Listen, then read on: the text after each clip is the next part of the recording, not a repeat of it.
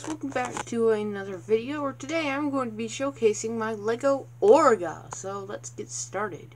So I actually worked on this basically for like two days almost. Um, I think yeah, I think he turned out really well. Um, so let's just move on to the articulation. We have hinge, we have ball joint, hinge, hinge, hinge, hinge ball joint, ball joint, hinge, ball joint, ball joint, ball joint. That's about it for the articulation. And there's actually more articulation, but we'll get into that later. So let's move on to scaling.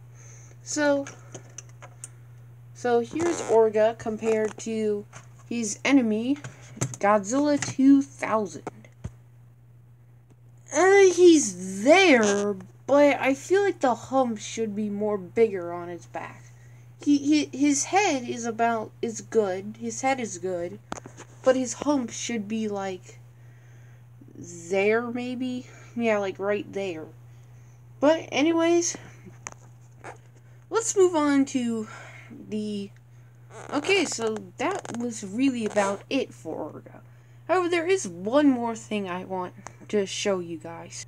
And that is he can literally swallow any figure I have whole. So, I'm gonna try my best. So, you if you you see this hinge, let me try to move his arm out of the way. You you have to lift his head and bottom jaw at the same time to create the opening mouth.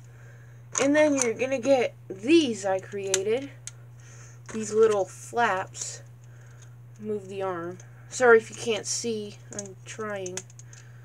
And make sure you line the head up so it looks natural. Okay, so spread these out a little. And there we go. There's his chomping action. Well, not chomping action, but swallowing action. There we go. So, we, you can you can put Godzilla's head inside of there.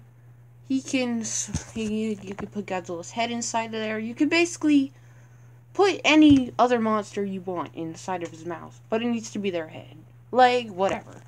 So, that's really the showcase for or Orga. I will see you guys later. Goodbye.